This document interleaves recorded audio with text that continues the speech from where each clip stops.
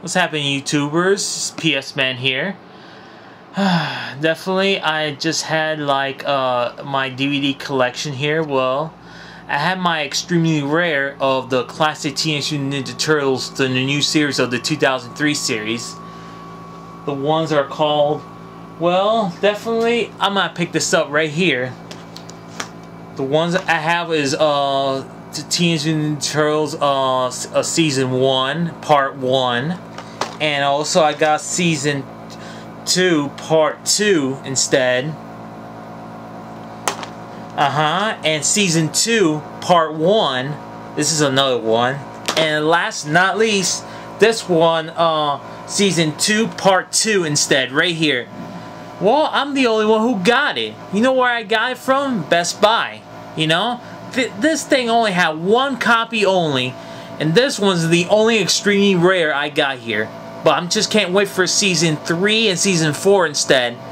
But that that's a, a, little bit extremely rare, but they got the episodes in right order instead, you know?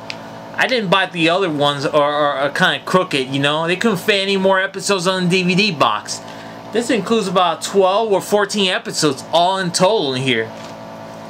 You know, and the best part is, I got them all. This one's the only one I got instead. You know why? I was the only lucky one who saw it instead, you know? I'm the one who looks on DVD. You guys don't look, you know? You guys don't even pay attention against texting or anything, you know? Well, size. I don't care. And, uh, and my other one, well, you couldn't wait for this. Season 9 already. It's out on DVD now. Well, it's already been out in stores this week already and it includes about eight episodes already on season 9 already. They couldn't fit any more episodes. Can't wait for the final episode of season 10. But you can only be lucky to find it on the first season of Teenage Mutant Ninja Turtles classic ones on the four uh, bonus uh, episodes on the first disc already. You know, it's the confusion starts about how many uh, series. You know, well, I like calling seasons better. You know, it's a lot better without calling volume instead, you know? Look at all the Superman series I got here. You know, I got Superman season 1, 2, and 3, and there was a bonus called Brainiac Attack. Well, Brainiac Attack, you should have been the last uh, final episode on season 3 of Super, uh, The Adventures of Superman. It, it should have been the second one. Public Enemy was second. You know, that came out in the comic book. And Superman and Batman of the one from the apocalypse versus Supergirl, Superman Doomsday, and the rest of the four uh, movies of Superman, you know? It's kind of lame. Oh, and another one I got for today is uh, Dead Island, you know?